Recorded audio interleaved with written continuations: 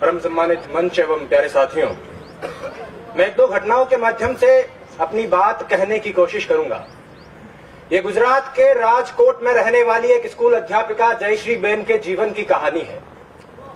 दुनिया की हर माँ की तरह उस माँ ने भी बहुत से सपने देखे, अपने इकलौते बेटे को खूब पढ़ाया, लिखाया, अच्छी तालीम दिलाई। बेटा भी सफल हुआ, प्रोफेसर बन गया। डॉक्टर बहू से शादी हो गई। घर में पैसों की कोई कमी नहीं रही, जीवन में सब कुछ ठीक ही चल रहा था। लेकिन बुरे दिन कुछ ऐसे आए कि बूढ़ी माँ को लकवा मार गया, पैरालिसिस हो गया। हाथ पैरों ने काम करना बंद कर दिया तो माँ अब बिस्तर पर पड़ी रहने लगी। एक रोज कुछ यूँ हुआ बीमारी के दिनों में कि बेटे ने माँ को सहारा देकर खड़ा किया। माँ बड़ी खुश हुई कि मेरा बेटा मेरे बुढ़ापे की लाठी बन रहा है। बेटा माँ को पकड़कर धीरे धीरे सीढ़ियों के सहारे छत पर ले गया माँ बड़ी खुश हुई कि मेरा बेटा मुझे धूप दिखाने ले जा रहा है। छत पर जाने के कुछ देर बाद बेटे ने अपनी माँ को गोद में उठा लिया। माँ खुशी से भाव विभोर हो गई कि मेरा बेटा जान गया है कि मुझे सीढ़ियों से चढ़ने उतरने में दिक्कत होती है। मेरा बेटा मेरी कितनी फ़िक्र करता है, मुझसे कितना प्यार करता है। लेकिन उसके बाद उस बेटे ने जो किया, हाथ उठाकर दुआ कीजिए कि दुनिया का कोई भी इंसान वैसा ना करे। उस बेटे ने गोद में उठाकर अपनी माँ को चार मंजिला मकान की छत से नीचे फेंक दिया। बूढ़ी माँ कुछ समझ पाती, उससे पहले उसकी ज़िंदगी खत्म हो गई। चौथी मंजिल से नीचे गिरने में कितना वक्त लगता है? तीन चार सेकंड लगते होंगे। लोगों को लगा कि माँ छत से गिर गई होगी, लेकिन पुलिस पड़ताल और सीसीटीवी फुटेज से तीन महीने बाद पता चला कि माँ मरी नहीं थी। प्रोफेसर बेटे ने मारा था। और पुलिस पूछताछ में प्रोफेसर साहब ने कहा कि मैं माँ की बीमारी से तंग आ गया था और इस आफत से पीछा छुड़ाना चाहता था। इल्म की तासीर जब गुरूर में बदली, बुनियाद रिश्तों की महज दस्तूर में बदली और बुज़ुर्गों को फकत आफत समझ बैठी, औलाद आदम की बड़े बेनूर में बदली। दो महीने की बीमारी से परेशान होकर प्रोफेसर साहब ने नौ महीने तक पेट में रखने वाली माँ को मार डाला। ऐसा ही कुछ मुंबई की आशा सहनी के साथ हुआ। उनके बेटे ने खूब अच्छी तालीम हासिल की। अमेरिका गया, प्रोफेसर बना, लेकिन घर लौटकर नहीं आया।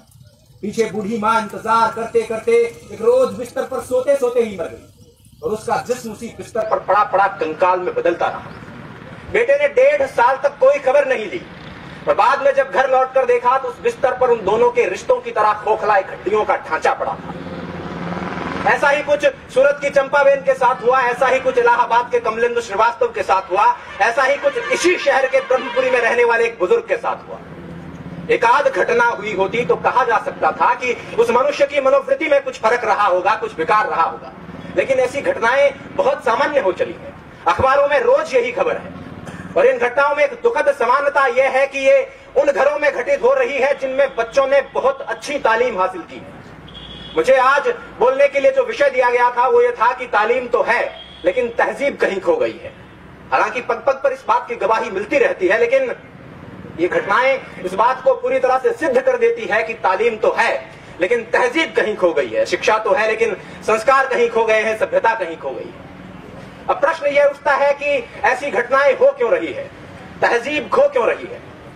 दरअसल हम जिस तरह से अपने बच्चों को पालते हैं, और उन्हें सिर्फ़ तालीम देते हैं उससे बच्चे प्रोफेसर, इंजीनियर या डॉक्टर तो बन जाते हैं, लेकिन इंसान नहीं बन पाते। स्पष्ट कर दूँ कि मैं शिक्षा नीतियों को कोसने के लिए खड़ा नहीं हुआ हूँ।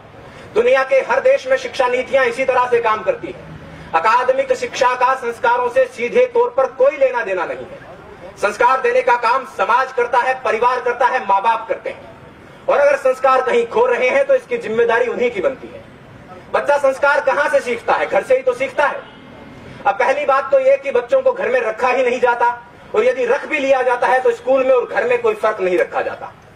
हम सब जानते हैं कि संस्कार सिखाने की उम्र में माँ बाप बच्चों को रट्टा मारना सिखा रहे होते हैं। एक रोबोट की तरह, एक मशीन की तरह बच्चों को प्रोग्राम कर रहे होते हैं, और 20-25 साल बाद उस मशीन में रिश्ते, संवेदना, प्यार, सम्मान और संस्कार खोजने लगते हैं। और जब नहीं मिलते हैं तो परेशान होते हैं। तारे ज़मीन पर फ़िल्म का वो दृश्य याद कीजिए माँ बाप बच्चे को बोर्डिंग स्कूल में छोड़कर रवाना हो रहे हैं। बच्चा पल्लू पकड़कर रोता है कि भीड़ में यूँ ना छोड़ो मुझे। घर लौट कर भी आना पाऊँ। माँ, क्या इतना बुरा हूँ मैं? माँ, क्या इतना बुरा मेरी माँ? माँ बाप फिर भी निष्ठुर होकर चल देते हैं। और जब बाद में बच्चा संवेदनहीन होने लगता है तो बहुत परेशान होते हैं। मैं ऐसे अनेक युवकों को जानता हूँ जिनको उनके माँ बाप ने सात आठ साल की उम्र में घर से दूर अच्छी तालीम हासिल करने के लिए भेज दिया था। हालाँकि इस बात में कोई दो राय नहीं कि वो अच्छा भविष्य बना लेंगे अच्छा करियर बना लेंगे, लेकिन एक चीज़ जो मैं कई बार महसूस करता हूँ, वो ये है कि उनका अपने माँ बाप के साथ रिश्ता उतना मज़बूत नहीं हो पाया है जितना सामान्यतः होना चाहिए। और यदि उनमें से कोई 20-25 साल बाद अपने माँ बाप को घर से निकाल देता है या वृद्धाश्रम में छोड़कर आ जाता है तो मुझे इस बात से कोई अचरज नहीं होगा। करता था तो क्यों किया, अब कर क्यों बचता है बोया पेड़ बबूल का तो आम कहाँ से खाए? पहले जब प्यार बोया ही नहीं है, सम्मान बोया ही नहीं है, संस्कार बोया ही नहीं है तो उसके मिलने की उम्मीद क्यों करें? खैर, मैंने काफ़ी समय ले लिया है। अंत में चलते चलते बस इतना कहना चाहूँगा कि जय श्री बहन तो छत से फेंके जाने के बाद नीचे गिरते वक्त कुछ सोच पाई थी या नहीं सोच पाई थी, मुझे नहीं मालूम। लेकिन अगर आपके साथ ऐसा हुआ, भगवान ना करे ऐसा हुआ तो आप ये ज़रूर सोचेंगे कि तालीम के साथ तहजीब भी दे दी होती तो इस तरह नहीं बढ़ना पड़ता। और अगर आप इस पश्चाताप के साथ नहीं मरना चाहते हैं तो अपने आने वाली नस्लों को, अपनी पीढ़ियों को, अपनी औलादों को मशीन बनाने के बजाय मनुष्य बनाने की शुरुआत कर दीजिए इन्हीं शब्दों के साथ मैं अपनी